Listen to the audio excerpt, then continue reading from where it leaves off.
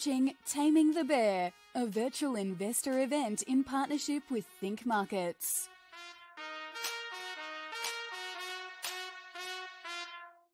Hello, and welcome to Taming the Bear How to Survive and Thrive in a Bear Market. I'm Nadine Blaney from AusBiz.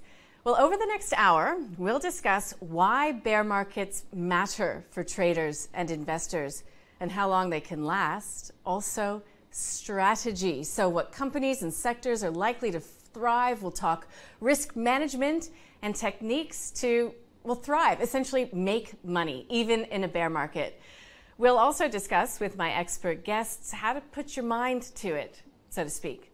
We have a fantastic lineup of guests for you, and as a bonus, they will answer your questions at the end of this masterclass. Feel free to send questions throughout the event via the Q&A that are on your screen. We'll be keeping a close eye on them, and we will get to as many as we can at the end of this masterclass. So, to get going, joining me to start this event, Carl Capolingua from Think Markets and Mathan Somasundaram from Deep Data Analytics. Guys, welcome. Thanks. I've been looking forward to discussing all of this with you both. The definition of a bear market in the Oxford Dictionary is a market in which prices are falling, encouraging selling. Nothing more, nothing less. There's no 20% tied to it okay. from highs to lows. What do you define as a bear market? Yeah, honestly, I heard that, um, that definition. Uh, I've traditionally, um, you know, financial types would say a 20% correction from the, the, the, top. And some people say, well, it's from the highest price that was achieved. Some people say it was from the best closing price. Doesn't really matter. Look, give or take 20%. Um, and then the next bear market doesn't start until we've rallied 20% from that low typically. So that is the confines of this conversation. Now, we don't necessarily need to be in a bear market yeah. here in Australia to have this conversation because you never know what's around the corner. And Mathan, you're the data guy. You know the historics of all of these bear markets as much as anybody else. And uh, can't believe it, but you've brought us a chart. I think this is the longest chart we've ever had on the program, dating back to the year 1800. Mathan.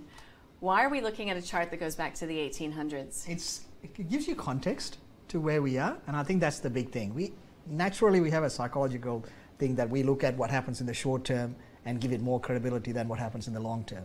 So having a look at what's happened through the last couple of hundred years gives you a, a much better perspective. I mean, the interesting part about this is the first 150 years, the yields literally just slid lower. So we're talking bond yields. Yes, we're talking 10-year bond yields, the blue line, has been falling for the first 150 years of that. And then we had the World War II. Then you had this, you know, massive construction, wage growth, massive global growth, recovery cycle. Inflation picked up, and then we had that run from around the 50s to the 80s, where we had massive. I mean, it, people remember interest rates at you know 15, 16 percent. Yep. And then we had the 40-year cycle of falling bond yields.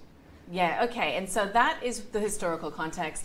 We're in a bond uh, sorry, we're in a bear market according to the stats, particularly coming from the bond market when you put it against inflation. So that's where we are today. The red line. Yeah, so that gives you some context to where we are on a relative basis. So the 30 year bond yield is important because that's pretty close to a proxy for the mortgage rates, what mm-hmm. people pay for. Uh, and that's obviously a bit higher. Uh, and so when you look at that, where the inflation has gone up, every time inflation goes above that, you get massive pullback in asset prices. That plays through all asset classes. So that's the cycle that we're going through. So I don't think it's any hugely different. I think it's happening again now. And the property prices in the US are pulling back. And we've got property bubble globally for the same reason because cost of debt went so low. Now that's resetting and that's natural part of the cycle. So we are getting that. Great. All right. So we are in a bear market now. Carl, mm-hmm. when we think about a bear market, there's a final chart that Nathan has just uh, pointed out. Uh, well, explain what's on the chart now that's oh, look, on the screen. The, the, blue line is your cash rate from the US Fed. Now, mm-hmm. they're going to be updating us tomorrow morning, and you know, market expects 75 basis point. I think that's the likely scenario. But you can see in the last decade, the bond yields, whether you're looking at the short dated or the long dated, haven't been able to get above 3% because we are carrying a, a lot of debt. So is, is this time any different? I don't think so. So I think the bond yields will uh, flatten out after it gets around 3%. So the question is, when does the Fed change? At the moment, I don't think they're going to change. but market is betting on them changing as the recession fears start to rise. And that is when we will potentially see this bear market come to an end. So, Carl, give us some perspective. We've got a, a chart that you've brought along, a graphic that shows the NASDAQ in historical context. Uh, it is showing us the duration of how long some of these bond, uh, these bear markets can be. And it's pretty diverse, isn't it? It goes from anywhere between one month to 31 months. Yeah, there's a wide range there, Nadine. Look, uh, for Australia, and I know we keep talking about bear markets. Well, Australia, we're not, we didn't get to a bear market. We're down about 16%, so we didn't meet that traditional definition. But certainly, if we look at uh, what's happened on the Nasdaq and indeed the S&P 500, they both went into bona fide bear markets. This current Nasdaq bear, bear market, or at least at the lows in June, down nearly 35% and currently, as, as of today, still running eight months. So, in terms of your historical bear markets going back to the 87 crash, it's pretty typical. As in, we've gone down about as much as the median. The average, by the way, is about 38% because there's some dispersion there. And uh, on the timing, we're starting to run into one of the longer bear markets. And this is what concerns me here is that uh, the short, sharp bear markets where there was a, a sudden shock, you know, the, the, the, pandemic is a great example, the 87 crash is a great example. Um, we tended to get through those fairly quickly. The, once you get past that average, they tend to draw out, and that's what I'm concerned about. So if you look at say October 89, 12 months, and then the big one, the dot com crash, 78% from 2000 to 2002, 31 months of just withering declines. And I was, uh, it was one of the first bear markets I traded, Nathan. I know you were very active uh, at that time as well. And I, and I do remember the, this, this feeling uh, initially of optimism uh, in the rallies. Uh, and uh, incidentally, there were nine bear market rallies of, of greater than 15% but less than 20%. So, so um, the last one succeeded, but eight of them failed. Yeah. So eight yeah. times you thought this was the end, yeah. and it wasn't the end. So again, sort of bringing that back to what's happening now is uh, we're having a little bit of a bounce. Is this just uh, one of those bounces? So um, to be forewarned is to be forearmed, and hopefully today we can give viewers some strategies to identify if this is just a, bear market rally, if there's something uh, at the beginning of the next bull market, um, how to how to how to um, get in, uh, mm-hmm. hopefully when it's safe, and how to protect your capital if it's not going to be safe. Absolutely, we will get there in just a moment. But you've also brought along, and this is sort of the hopeful chart as well, which shows the durations in blue of bull markets versus in orange bear markets, and how long the recessions are as well. Mm. So not all is lost if you find yourself in a bear market. Yeah, no, look, uh, I think I, I uh, now don't quote me on this stat, but I think it was about 16 out of the last uh, 26 uh, bear markets caused recession. So it wasn't, yeah. You know, just because you've got a bear market doesn't mean there's a recession. And quite often, uh, as you mentioned earlier, the, the, when we're in the recession is often where the bear market ends because markets are forward looking. And that's the other thing viewers I think need to remember is that when we hit the recession, there's a good chance we've, we've probably factored in a lot of that. And now we're looking to the stimulus on the other side, which is what markets love. Uh, you can just see in terms of durations, you say relative durations, bull markets are so much longer. Um, you know, order of magnitude four or five times longer than your bear market and significantly greater uh, in, in their gains as well. Um, another stat for you, roughly 78% uh, of the time, we're in a bull market. It's only 22% of the time we're in a bear market, but it's an important 22% to get right. All right. Okay. So I think we've put some confines around what is a bear market, how long they can last. This time around, what is triggering uh, this bear market. So that has set the scene for what we know is potentially facing traders and investors. Look, we'll be back to talk strategies after this very short break.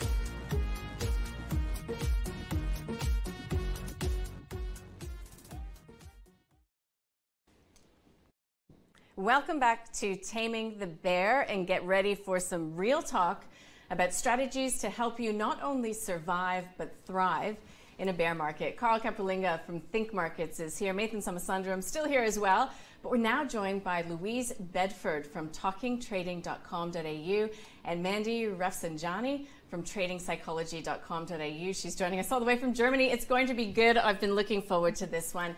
Uh, everybody, welcome. Louise, I will start with you. Is there some sort of a rule of thumb when we're entering a bear market that there are sectors that will outperform or underperform, or how do you really go about identifying those? Yeah, it's such a good question. There already are signs that some sectors are hot and some sectors are not. So let's have a look at an example of the ones that are moving right now. So some of the hot sectors energy, utilities and communication services, whereas the cold sectors, surely they outnumber the hot sectors. However, you've got things like IT, real estate and consumer discretionary. So when we have a look to see how do we determine what is hot compared to what is not, what we do is we have a look at the presiding index. So either the ASX 200 or the All Ords in the Australian markets and we compare each index with the Australian market overall index. We look at a relative strength comparison, and that can give us an idea about what is outperforming the general trend. Are still looking for outperformance in a bear market, Carl, correct? Yeah, I mean, Louise just mentioned the relative strength comparative, uh, not to be confused with the relative strength index which is ultra important for me as well. So basically, we're comparing the performance of a particular sector against the broader market. We're looking to target those uh, sectors with, with relative outperformance. You know, I'm a trend follower, bottom left, top right is my motto. So um, I, I think the message here is that even in the worst bear market, there's always a, a company or group of companies out there with a business model that's killing it. Okay, and, and I think in, in bear markets, those companies, um, because they, they're clearly doing well, um, with the investment community, Mathan, as you know, tend to crowd in yeah. to those companies, which makes them do even better again. Um, so for, for, me, yes, there's still this element of um, not uh, allocating too much cash. Okay, I think that's important, uh, and understanding strategies like short selling. I think that's another thing. Um, but also, there are still opportunities to buy uh, the companies that we're, we're yeah, the investment community is crowding into. Yeah, because Mathan, you don't just throw your hands up in despair when a bear market comes around. No, there's um. I mean, the beauty of bear markets is it, it makes people actually work harder. Yeah. Um, it's the the bull market in a trending market. Everyone's a genius. And when it gets to a bear market pullback cycle, that's when it gets really tested. Now, the interesting part is there's always going to be, you know, major sectors may struggle, but there'll be minor sectors, industry groups that benefit from it. So, you know, a classic example of some sectors actually do well in a rising interest rate environment. So, in that context, you want to be exposed to those kind of sectors. Louise, we have your chart up on screen right now. We want to use charts in this event uh, to help you know, really investors and traders understand what we're talking about. Louise, can you walk us through this hot sector example? Absolutely. So on the screen, we can see energy. And when we compare that to the All Ords, the relative strength comparison is rising and it's above its own moving average, not only on the index itself, but also in the RSC chart, which is the chart below the actual red and green candles. So that does tell us that this is swimming against the tide. We've got a sector going up, and compared to the overall market, it is doing quite well. So if you are looking to trade at the moment, then looking at stocks within that sector will give you some level of bang for your buck. But we do have to question should we be trading at all? And that is something else to consider. Well, what is the answer to that, Louise? I mean, what is your sort of first rule of thumb to determine whether or not you should be trading at all in the environment we find ourselves in? I always like to apply a macro filter. Now, a macro filter is your do I trade or do I not trade? And under what circumstances do I actually decide to be involved in the market? So, everybody who is watching this can apply a very simple macro filter by running a 30 week moving average over the predominant index. Now, when you've got your index prices above that moving average, that means you can go long and when they're below, you can go short. So if we just pop up the next chart, I'll just show you what I mean by that and add in one little nuance. The that's a cold sector example. So perhaps just the next one so we can talk the overall market. Perfect. Now, what we've got here is the All Ords, and we can see currently that the prices or the index points are below the moving average, which suggests a bear market. And we also need to have a look at the volatility that's that lower part of the chart there. So we've looked at the average true range and we've done this as a percentage of the index points.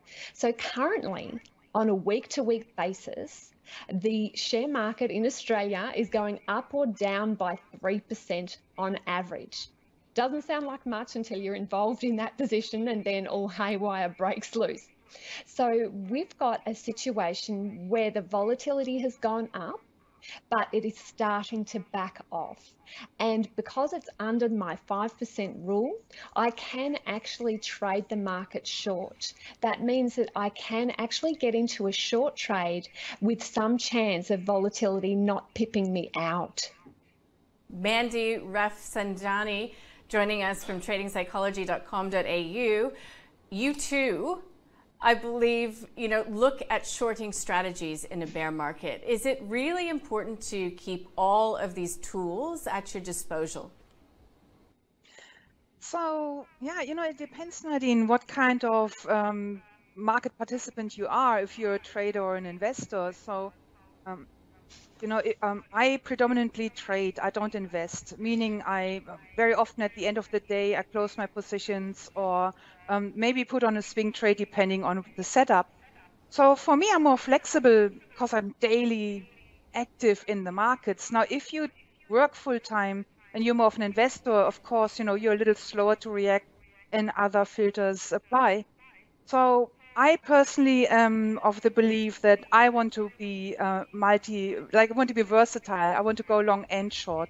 But having said that, also we know that everyone has um, one strategy that they're feeling more comfortable with, like we all are either left-handed or right-handed, but it still means that we can use the other hand as well, maybe not as good or not as natural.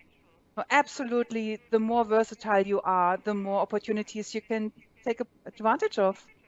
Now, Carl, we have a series of charts to show yeah. about how we can start looking at charts, using mm. charts again uh, to to determine how to make money and thrive in these bear markets. Uh, it's a Nasdaq chart, is it? Yeah, we've got a Nasdaq chart, but like it's you know thrive, uh, survive. I mean, these are the two key key principles. And I tell you what, Nadine, I got uh, goosebumps when Louise had that chart up about the macro volatility. Mm -hmm I haven't thought of, uh, I use price action, volume volatility, three key factors, but I haven't thought of using a volatility indicator on a whole index.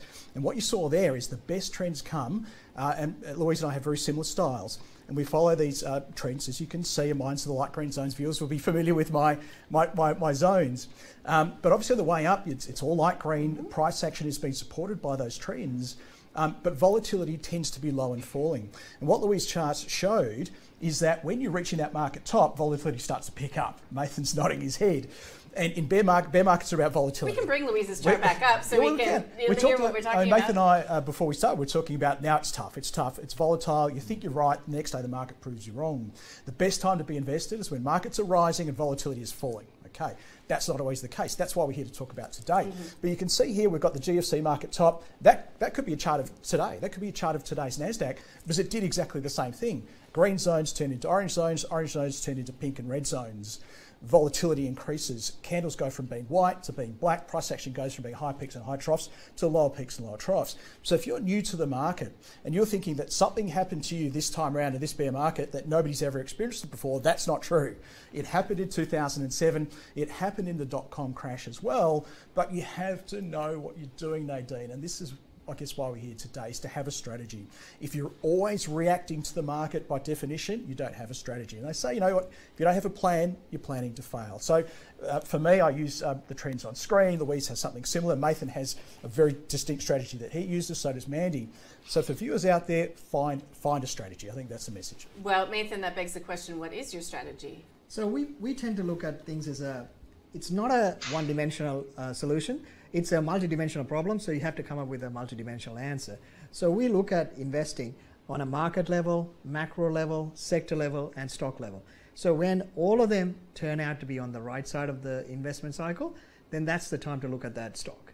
Now, when one of those things go out of sync, there's something that's going to come through that hasn't already hit the stock. It may have happened at the market level, it may have happened at the sector level, but it hasn't flown through the stocks. We try and stay away from it. So those kind of approach for us flag when cycles turn.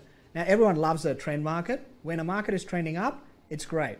When you've got valuation on your side, when you've got the macro on your side, when you've got the Fed stimulating on your side, it's, it's a great cycle.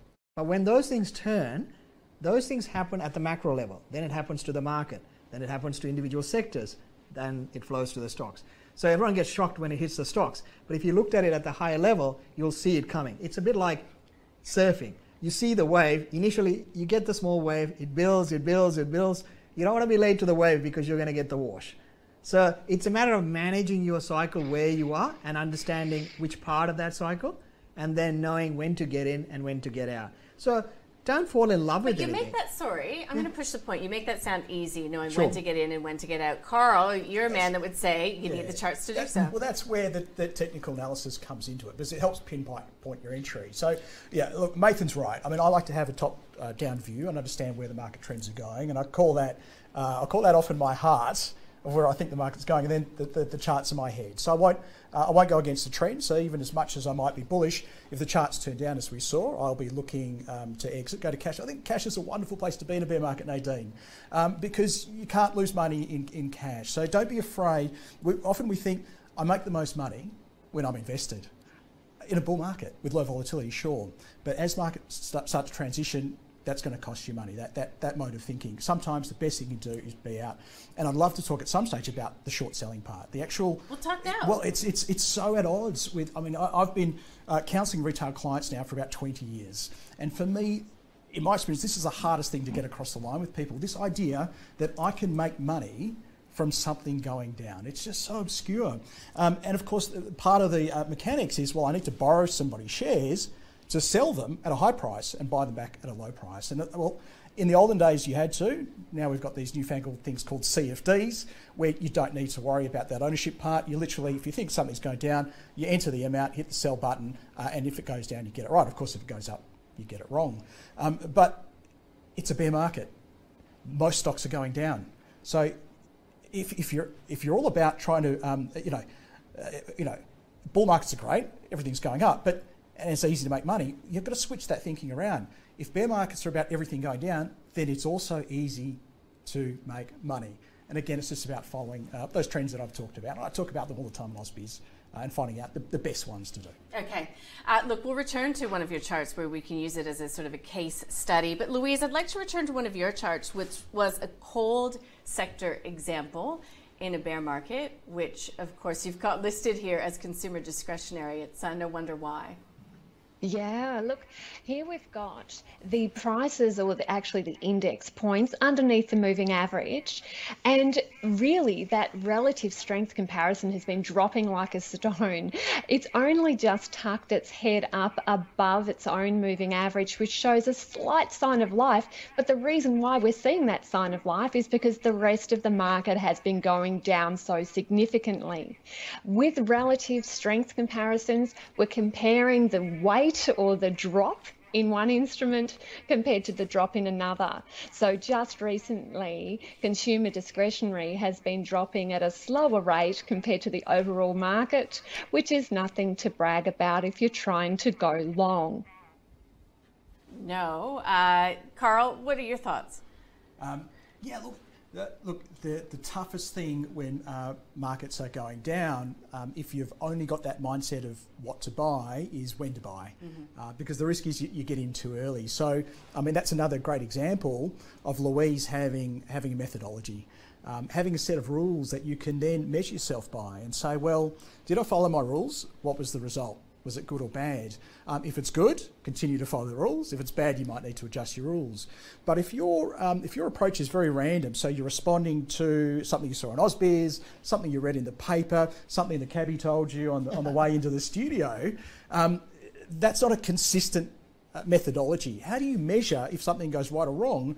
Uh, what it was. Was it the cabbie's advice that, that got me that, that great result? So I think until viewers commit to this idea of being more systematic, uh, whether it's a fundamental macro approach that Nathan has or more of a rules-based approach that um, Louise, Mandy and I have, um, get a plan uh, and then start to measure yourself based upon that. Now, Carl, actually, I'll ask you this question, Nathan. Um, how important is it in a bear market to diversify your exposure to different asset classes?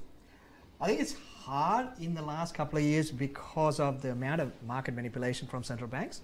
They've actually correlated all these asset classes that are supposed to be non correlated. Um, and it's hard to explain to investors that at this point in the cycle, when central banks are trying to get out of the market, a lot of these uh, non-correlated asset classes that, that are now correlated are unwinding.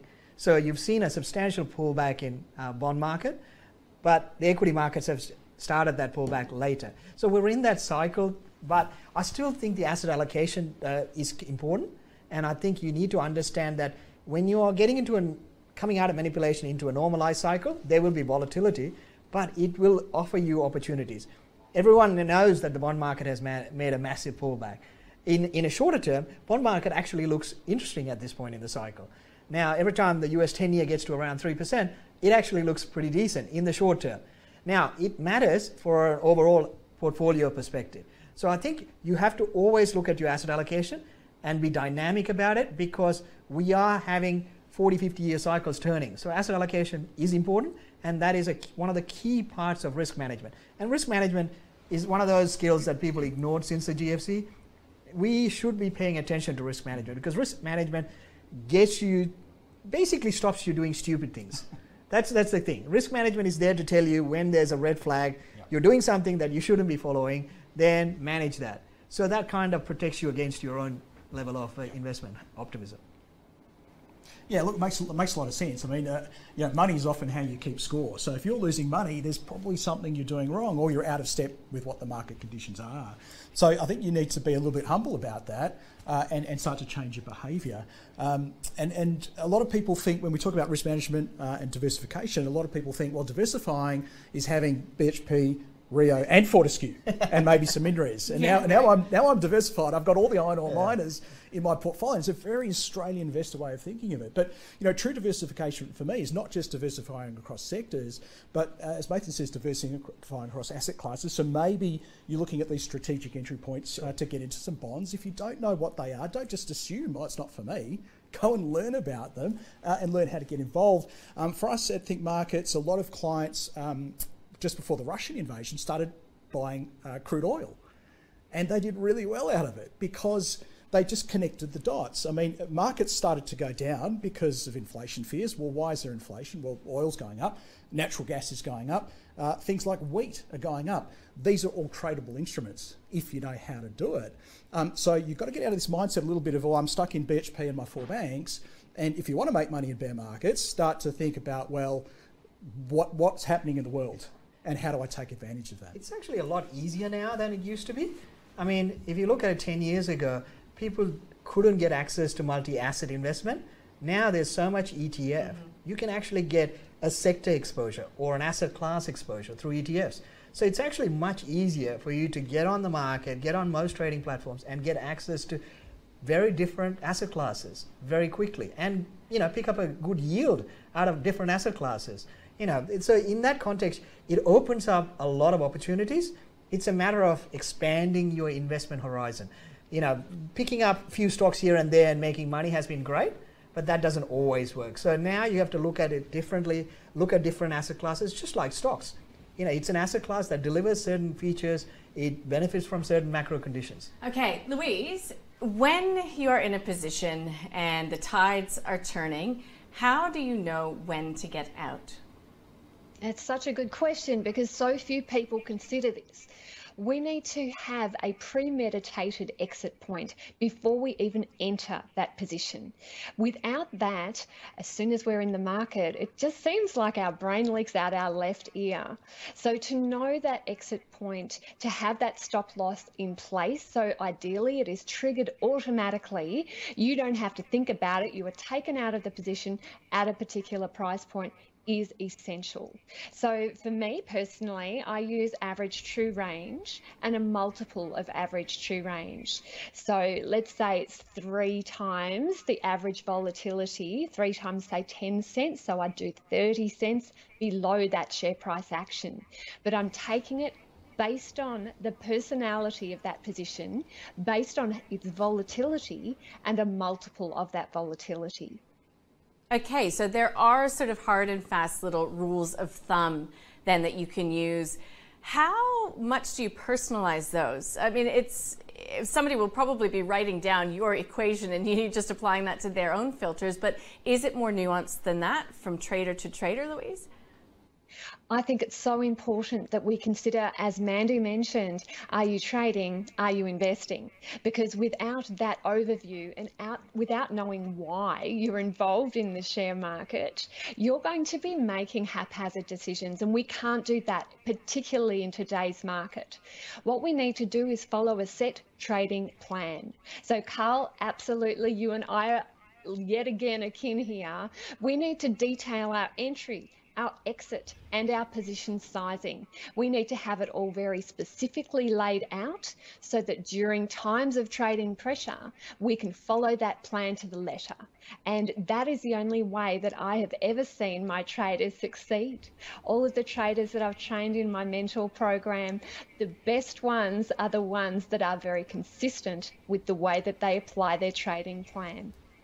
Mandy, I can't imagine you're disagreeing with any of that to a great degree, but what do you have to add when it comes to strategically knowing when it's time to call it quits on a position? Uh, it's such an interesting conversation, and you know, it's like, you know, as many different opinions as there are traders out there. So if I talk about what I see in terms of traders that I've worked with, um, when we look at the different personality profiles, not everyone is someone who is, um, um, likes to follow plans, right? So I have actually a lot of traders who are very intuitive. And if you were to ask them, how do you trade? How do you decide when to get in, when to get out? They can't articulate it at all. And um, so, for example, a friend of mine, he just joined the Seven Figure Club, and did really well trading, an Aussie guy who trades US stocks. And he can't describe his strategy at all. He's so intuitive. Um, and you know, you ask him about his money and risk management. Money management more so he so how much he allocates to a stock uh, to to a particular trade, but his risk management on when to get out is really more intuitive.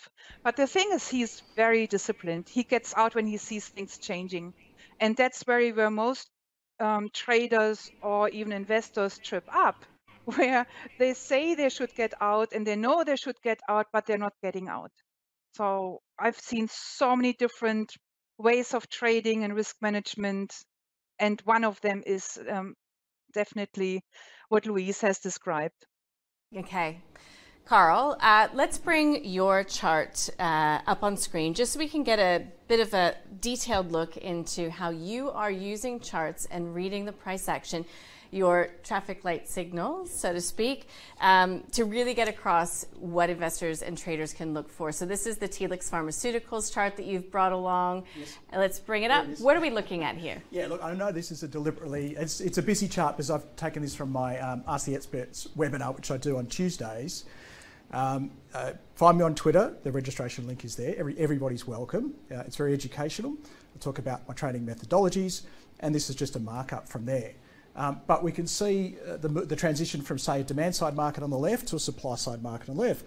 Uh, on the right, this idea of uh, following, following the trend to the upside, buying pullbacks, uh, to selling rallies, where um, we go from white candles to black candles, from high peaks and high troughs to lower peaks and lower troughs, um, from you know, uh, green supporting moving averages to moving averages resisting price action. But at some stage, we get over to the far right, um, past this bear market phase, and things can start to go up again. So if we, you know, we've talked a lot about bear markets, but maybe maybe the discussion pivots, Nadine, you're, you're the boss here, but pivots to, well, what happens on the other side? And we can see that's just the reverse. This is how um, prices just cycle between excess demand excess supply and then back to excess demand. So we do the reverse. Instead of um, lower peaks and lower troughs, we're back to higher peaks and higher troughs. We're back to white candles. We're back to very shallow pullbacks and very strong gains um, we break through areas of supply, volume uh, starts to increase again. So uh, it, it, comes back to what Louise said, is have a plan. This is my plan. Um, Louise does a fantastic job with her uh, mentor clients. And, uh, you know, this idea of, um, she talked about average true range and volatility. There's a lot of jargon there. Um, so get educated. Get educated. Find out what these things mean. It's not beyond anybody in my experience. Nadine. I was going to say normal people can learn to read a chart. Have, they might not do as much drawing on it as you, but they can start to see what the signals are telling them. I've been teaching teaching people this technical analysis, as I said, for almost 20 years, and I've never met somebody who wasn't capable of getting at least a basic grasp. So, Mathan, I, I feel like you're here sort of representing the investors, uh, more of a fundamental view of markets, but I can see you smiling and nodding your head when te- every chart teach, comes I'm going to teach, teach Mathan how to do it as well. Uh, look, I mean, it, the interesting part is everything is linked but people don't realize they are. Mm-hmm. So, for example, the classic quant factor is 12 month moving average, sorry, 12 month price performance. Now, the biggest uh, technical uh, analyst number is the 200 day moving average that everyone uses. They're almost the same. Yes. It's just the 200 day moving average is slightly faster mm. at telling you the turn than the 12 month price performance. Now, interestingly, that's a really high performing factor.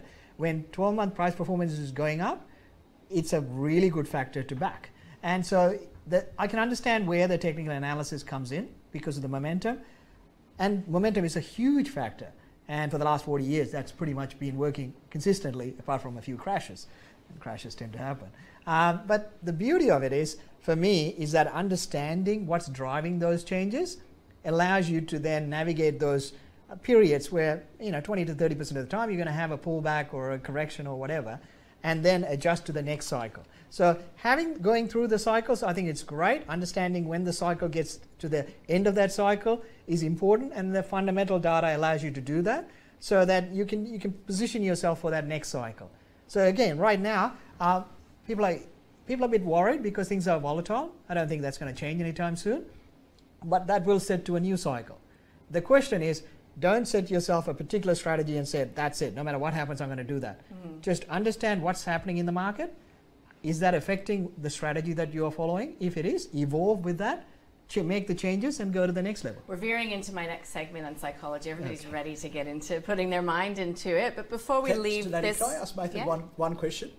Where he thinks we are in the cycle, and does he think there's another leg down in this in this move? Yeah, I think there's another leg down because uh, the market hasn't had a real panic. So if you look at, I'll give you one data point that kind of gives it to, gives it away. The margin lending in the US, with the pullback has been about 20%. Every crash, it doesn't end till it gets to about 40, 50%. Mm, okay. So we haven't had the panic stage yet. Everyone is assuming that when things get tough, the Fed will backflip. But this has been once in a 40 year cycle where inflation's gone up. I think the limitation of what Fed can do is very limited they have to bring back cost of living. Whether that's through a nice move or a hard move, they have to do that. Mm-hmm. So I think that will create at some point a panic. When that panic kicks in, that'll be the last leg. All right, listen, I just want to cover off strategies before we leave this little conversation, which you know could go pretty much all day. but so we're talking don't throw out shorting strategies, yes. and you need to educate yourself on the possibilities there. Hedging, you know, essentially the same thing, really. Yes. Um, do you have any particular strategy when it comes to hedging? Yeah, well, hedging simply involves having a bet each way. Yeah. So this is where we can dial it back to investors, uh, people with long-term portfolios that I discussed, your, your BHP, your around your four banks. So this is the Um, diversification. This is part of the diversification. So if you're using something, um, some of uh, you're just listening to, to, to Mathan, because he's on Ausbiz regularly, says some wonderful things for viewers uh, to take into account and consider, and you think, well, he's right. There is another leg coming. Uh, I've got all this exposure. I don't want to sell my portfolio. I've had it for so many years. There's tap- capital tax uh, gains implications, whatever it might be. And I don't feel comfortable being naked without my portfolio anyway. Okay, well, um, again, through CFDs, you can start to take these strategic shorts, almost betting against your portfolio. Um, so if Mathan is right, there is another leg down. You're effectively locking in a price here on your portfolio. So as your portfolio falls, the value of your short positions are rising. Uh, and then hopefully you listen to Mathan. Mathan says, that's the ding, ding, ding, that's the bottom, everyone. Get back in. Uh, by covering back your shorts, you take your profit. Now, the great thing about if you get that right, you've got all this extra money now to invest at a market low, okay, into your favourite stocks again. So now that's your best case scenario, of course. If the market goes back up, it's not so bad because your portfolio is compensating for your, your loss in your, in your shorts, but that is the risk of hedging. Hedging is not without risk. There's no free lunches in markets, and um, you know what you could lose on your hedge, you'll make back on your portfolio. So it balances it. You, you give up a bit of return Yes. for that insurance policy. Yeah. That's that's the way you have to look at it. Okay, so diversification, risk management. I think we've covered it all. There's plenty more to come, of course. Uh, we're just going to take a bit of a short break and keep those questions coming in. We'll be back with Louise, Mandy, Mathan, and Carl after this very short break.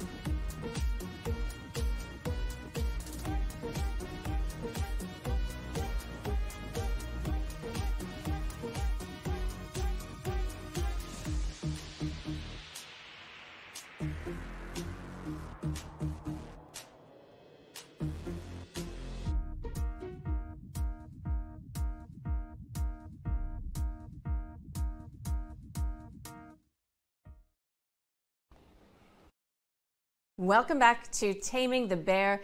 And yeah, we are going to be talking about getting your mind into it, so to speak. And uh, joining us once again, we have Carl Capolingua uh, from Think Markets. We have Louise Bedford joining us and Mandy Rajafasani joining us as well from Trading Psychology. So it's really important, uh, I've been told, to gain control of your emotions and understand really what is driving your trading behavior. And that can really help tip the scales in your favor. So, how do you really find out how to improve your decision making process? So, again, welcome back to the panel. Let's get Mandy to kick it off because, Mandy, if we just think back to where we've come from, I mean, there is the potential for a lot of mistakes to be made in mindset, I would imagine, when you're transitioning from a bull market to a bear market. You don't want the glory days to go away. Yes, absolutely. You don't want the glory days to go away. And as Carl mentioned before, so many traders and investors have done really well in this bull market. And the, the tricky thing is that they have learned all the skill on how to trade in a, a bull market, but not how to trade in a bear market. So what I saw the main mistakes traders and investors made um, just from the clients that I've worked with, the thought of, oh, it's just a retracement, because it has been a retracement in the last 10 years. There was always another leg up. Um, they try to trade this bull market rhythm, but again, as Mathan and Carl described, the bear market has a very different behavioral pattern than the bull market.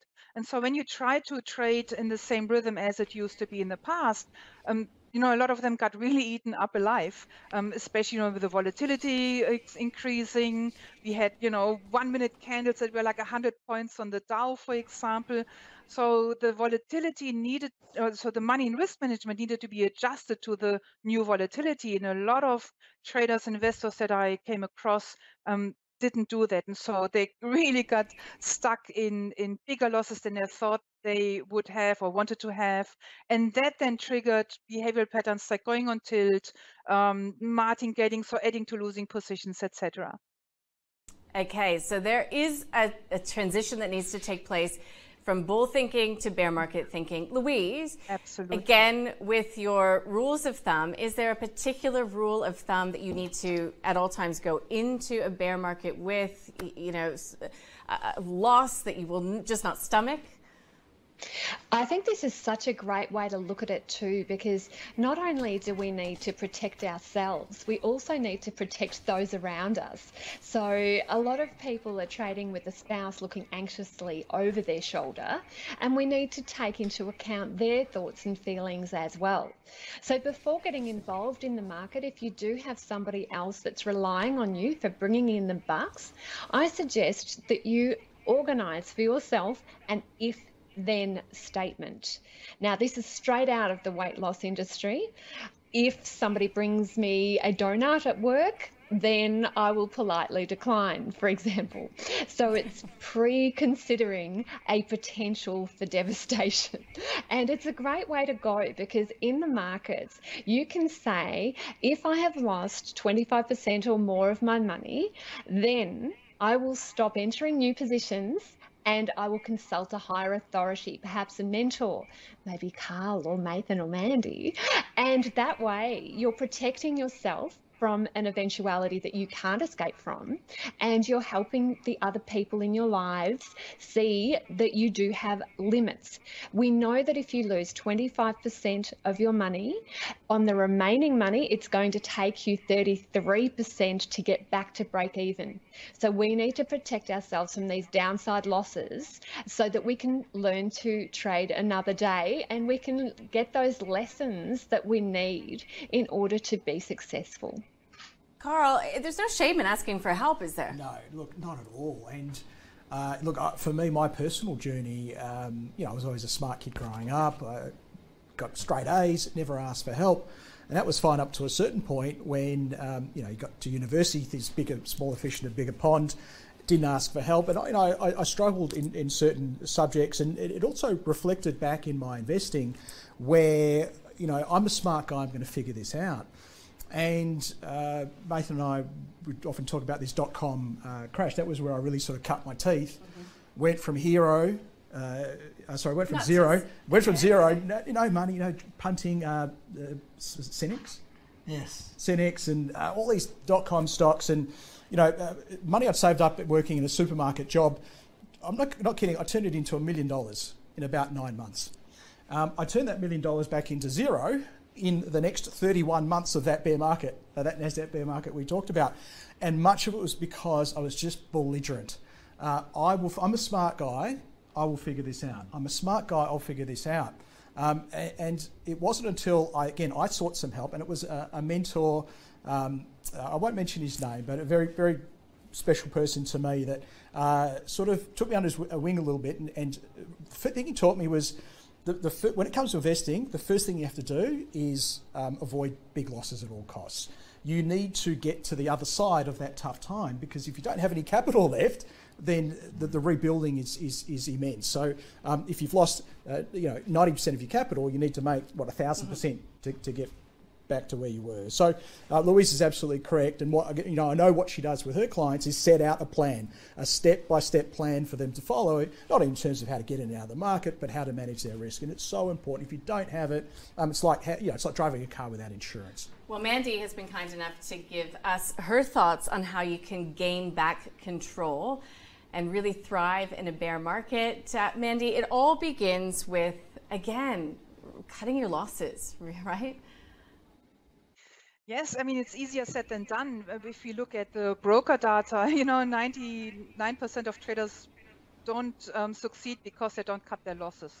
So if you can just conquer this one thing of cutting your losses, you're ahead of the majority of people in the world. So when we look at why people can't or traders can't cut their losses, it's because what is it that they're focused on? And often they're focused on wanting to avoid a avoid a loss. Um, start shifting your focus to I want to preserve my capital. And I really saw that when you look at someone like Linda Raschke, you know, market wizard, and and any trader who's doing really well, they think so differently to the traders who are struggling. It's it's like black and white.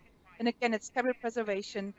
They know their strengths, right? So we all have our strengths and weaknesses. And as Mathan said so beautifully, we need to protect ourselves from our own stupidity or AKA weakness that often traders and investors don't want to admit, right? That's that's a different conversation. But you know, be okay with having your weaknesses and playing to your strength. And look at what does a sequence of losses mean to you. When I ask traders who are not doing so well, it always means something about them. You know, I'm not good enough. I will never achieve my dreams. I will never succeed. Um, people will laugh at me. No, all it means is that if you could have done better, you would have done better, and there's something for you to learn. And I totally agree with um, asking for help because, you know, the fastest way to to um, achieve your goal is to learn from those who already are doing what you want to do. So why not shortcut your journey instead of trying to figure it out yourself? Because yes, we say you need to adjust your strategies now to a bear market, but hey, that's easier said than done. Um, I'm working with a trader at the moment who is looking for a new strategy because his bull market strategy is definitely not working anymore. And what he's doing, he wants to do it on his own, which is fine. But what he's doing, is looking at different strategies. And we going back to um, the last six months, and he's back testing them on trading sim, a simulation software. Um, we have beautiful simulation software on um, MT4s as well, MT5s, which is called um, Soft for Forex. And then looking at how many times did this particular setup occur in the market? How many times did it fail? And how many times did it succeed? And he had a strategy that he thought is going really well. Well, in June, it only gave him a 38% profit loss ratio with a 3R return. You can't live off that. Right? So he always thought there's something wrong with him until we did this exercise and he realized his strategy simply didn't work. So why not go to someone like Carl, like Mathan, like Louise, and look for a strategy that is actually already proven and shortcut your journey? Yet, Mandy, you're so generous with your trading stories. You don't tell us who's behind them, of course, but you've you've brought mm. us a chart that shows. Well, what do we call it? Do we call it revenge trading? Yeah, so there's two types. There's revenge trading, which is um, essentially going on tilt, and the other one is martingale. So this one was a trader who did really well in the last 10 years. And um, so I could say trader because he's more short term, you can see. And uh, the market went up until um, you know, until it actually started going down here. And you can see he started buying the dip, and then um, there was a red candle. That's a daily chart of the uh, XJO, by the way. Um, so he got nervous. He closed his long and went in short. And then there was a blue candle, and he's like, "Oh, I think it's going up. I got it all wrong." So he closed his short at a little loss and went long, and then it collapsed. But he stayed in it. He didn't get out because he thought, "Oh, you know, it worked out all the last 10 years, you know, I was always safe and um, the market still went up. So he bought more. Then he got insecure again. So you can see buying, um, selling, buying, selling. That is going on tilt. And it accumulates with little losses. And that's driven not by skill. This is driven by anger, by frustration. And then, you know, you get tunnel vision. And also the news started becoming more desperate, right? So fear mongering in the news. You know, the um, recession goes up. There's not enough food because of the of the floods, um, the war in Ukraine. We underestimate the impact this has on our um, stress levels. That's unconsciously um, affecting our stress levels. And when we are in stress, we can't make good trading decisions, decisions anymore. So when you feel you get like really agitated and you start getting in and out of your trades really quickly, man, you know, stop immediately and start looking at what you're doing and engage your brain again. Because what we often see is that the brain completely goes blank in those moments of going on tilt. And I see that, I saw that a lot in the first few months of when the market turned. traders went on tilt so much more than usually. Very Mhm. interesting. Now you said martingaling. What is that? I do believe that we have a chart. Maybe you can ex- explain Yes. it to us, so maybe traders watching think, "Oh yeah, that's me. I don't want to do that." Yes, so that's why I love explaining on charts what that actually looks like because in theory it sounds so beautiful, but you don't realize you do it yourself. So you can see the green areas where uh, this trader kept adding to his long positions, to his portfolio. So actually, he's more of an investor, not not a trader, and um, that worked all well until um, I believe March was the top in the XJO. So we had the first top in January. It came down, so he kept buying got rewarded for buying um, into his losing positions. But then he kept doing the same thing after March. He kept buying, but then it wasn't rewarded anymore because the market um, came down. So martingaling really means that you have a losing positions. Yeah, you know, dollar cost averaging is another word for it.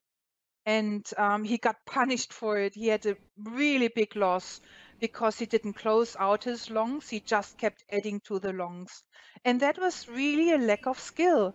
And that was applying a bull market strategy that worked for the last 10 years in a market that had clearly changed in the last six months. And when you have someone like Mathan who has a forward look, who can say, based on what we see in, in the yields and in, in the bonds and so on, we can see there is going to be a change in the markets that would have protected him if he had had that kind of knowledge.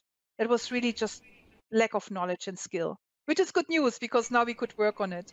yeah. There's always blue sky above the clouds. Louise, what if it's raining on you? What if you have taken a loss? What what should you do? I do think we need to pre-consider these ideas because everybody is going to take a loss. The first thing to do is remember to breathe. I have watched my traders put on trades, and here is the interesting thing. I've actually coined a phrase called trading apnea, where people are about to put on an order and they breathe in and then they hold their breath. Oh my goodness. Do you really think you don't want your brain to have oxygen at that point? No, what we need to do is breathe. So just calm the heck down. Take a little bit of a step back and realize that you need to get in touch with your body and to focus on what is happening to you here and now. That is the first step when anybody has any sort of hit from the side that they weren't expecting. So once you've done that, the idea would be to think, did I follow my trading plan? Because if you did follow your trading plan, and you've taken a loss, you have to consider that that is a good trade. It's a good trade because you thought about it in advance, you followed the structure, and that is the result that we have to expect as traders and as investors. The majority of people are going to get things wrong 50% of the time or more that's just fine. That is totally to be expected because when we're making the wins, we want to capitalize on those wins and be a pig in the markets, which is pyramiding into the positions that are doing exceptionally well. So, if you have followed your trading plan, I do urge you to keep a trading journal. Write down what did I do well and what would I do differently in this particular trade. And in years to come, as you look back through that journal, that will really help you ascertain your personal areas of weakness and the areas that you need to improve. When I wrote one of my first books, actually, Trading Secrets, that's exactly what I did. I went through my journal going back 20 years, going, what in the heck did I do wrong? And what are the areas that people need to really focus on to be an exceptional trader? And of course, the final step is to work out whether you need help. Now, I urge everybody to do a six month review of all of their results. The maintenance step is completely skipped by the majority of traders. They don't look back to see which of the trades they followed their rules for versus which they didn't.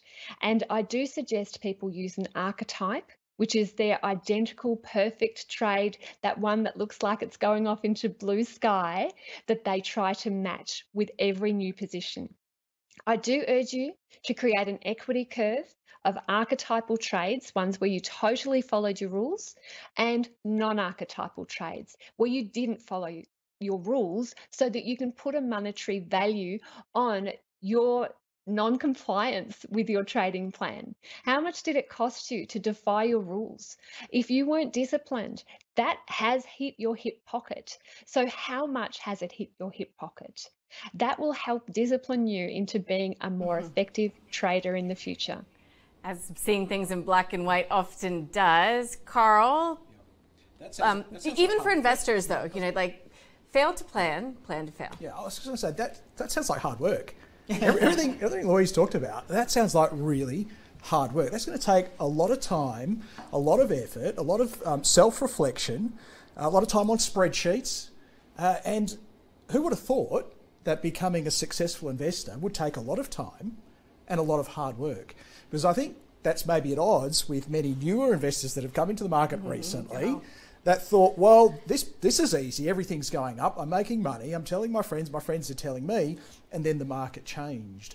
So this, I think, what we're talking about now is, well, where do I go from here? If you have lost money, um, if you had X and now you've got far less than X, well, the good news is you can change. Uh, I've done it. Uh, I'm sure Nathan's done it. I'm sure Louise has done it. I'm sure Mandy's done it. So that's mm-hmm. the good news. Um, start to go through these processes. Um, the, the, advice here today has been excellent. Of uh, no, no, can't say uh, anything um, at odds with anything that's yeah, been said. Yeah. Uh, but take that responsibility onto yourself because nobody else is going to do it for you. No, it's it's you're, you're in it to make money. Yes. It's not going to happen with no effort on your part. Yeah. Look, I I know we're going over. Uh, I'm hoping my guests can stay for just five more minutes to try to get through some of the questions that have been coming in. Louise Bedford, Mandy Rafsanjani, and Carl Capolingua, as well as Nathan Somasundaram, here after this very short break.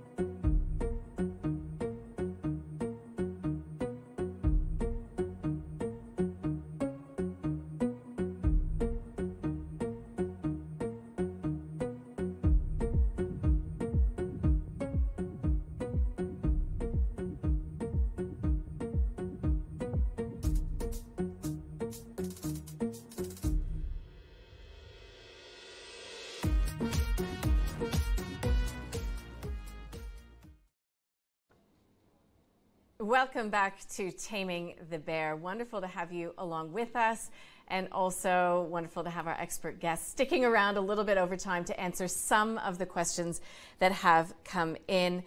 Uh, look, Nathan, maybe I'll throw this first one to you. I don't actually have who it's from, but it says, What is the short term, or what sectors of the market will do better in a bear market? Can we generalize that far? So you've got to look at where the thematics are still in, on the positive side in a, in a bad market. So for me, the big thematics have been food. Uh, they were positive before the war. The Ukraine war has added to that, so that remains pretty positive. Um, where the, we are playing it through the agriculture uh, services providers, especially the chemicals and um, things like elders, mm-hmm. because most of those kind of businesses, they're doing really well because the farmers are doing well.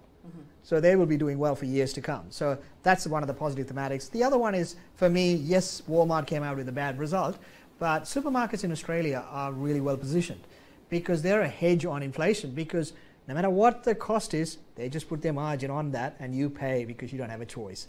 Uh, so they tend to do well. Uh, the energy retailers like Ampol, um, they do well because similarly, they've got the margin expansion, they just added to it. So they're defensive.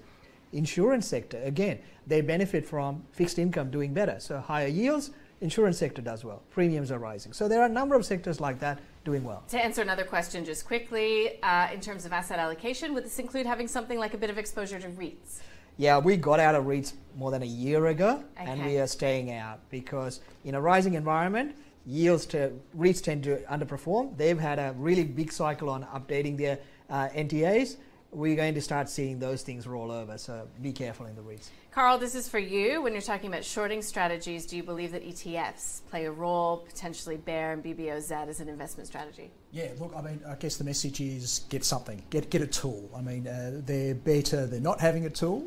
Um, for me, though, as a stock picker, so I guess the argument is, well, on the way up, do you buy an ETF, a basket?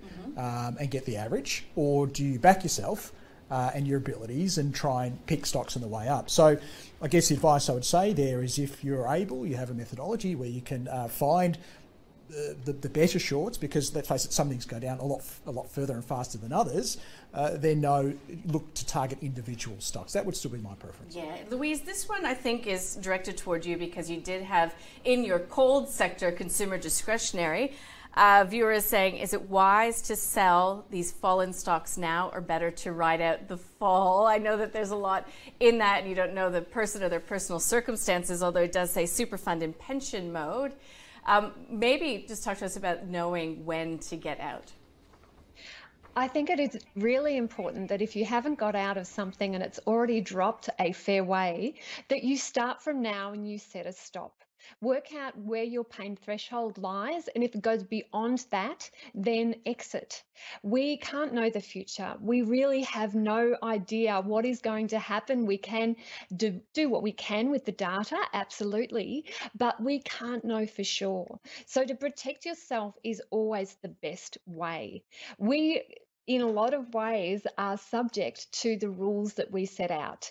So if you can set those rules from today onward, you're going to put yourself in the best possible position. So few traders follow a written trading plan. And in fact, the stats say only about 7% of people use a written trading plan, but they are the ones that are making the majority of the money in the markets. So work out from today where you should exit and stick to that plan. Mandy, final question to you. Um, everybody asks, you know, when you're thinking about previous bear markets, you said it's worthwhile studying the past bear markets. Is it different this time, you know, when you consider the global geopolitical factors? Is that something that is a question that often pops into the mind of investors? Is it different this time? Uh, uh, I haven't heard that question actually, to be honest. Um, it is usually like, oh my God, how do I survive? How do I get back making money? Uh, because, you know, especially for full time traders, they're a little bit getting desperate because uh, they need to feed their families. So is it different this time? Well, human behavior doesn't change. We know that, right? For for centuries and centuries, human behavior has always been repeating the same. And that's why I say the bear market rhythm will be staying um, the same as it was in the last um, last 30 or 26 bear markets I think we had so far. Um, what it really comes down to, don't worry about is it going to be the same. Anyone who is a successful person in life, in general, in sports, in business, in trading, they have extremely um, well defined um, problem solving skills. If you look at Ash Barty, the reason why she became the world's best tennis player, her coach said, her mindset coach said, because they trained problem solving skills in the heat of the moment. And it's also what, you know, what Louise alluded to. So don't worry if it is going to be the same. Just look at yourself and say, what skills do I need to develop in order to ace it in this market? As I said, some guys, they have their best years ever in, in the market coming down, and, and it's available for everyone.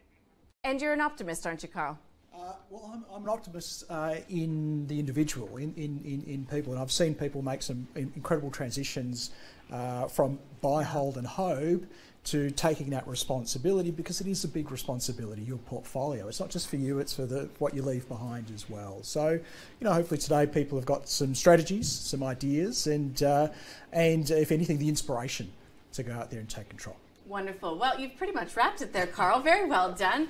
That is the end of this masterclass. Thank you to our guests, Mandy Rafsanjani from tradingpsychology.com.au, Louise Bedford from talkingtrading.com.au, Nathan Somasundaram from Deep Data Analytics, and of course, Carl Capolingua from Think Markets. And a huge thank you to our presenting partner, which is Think Markets. We do hope you've enjoyed the event. Please, if you have a friend who might benefit from what's been discussed, they can still register to watch as catch up. It's free, of course. Pass that along. Ausbiz.co forward slash taming the bear.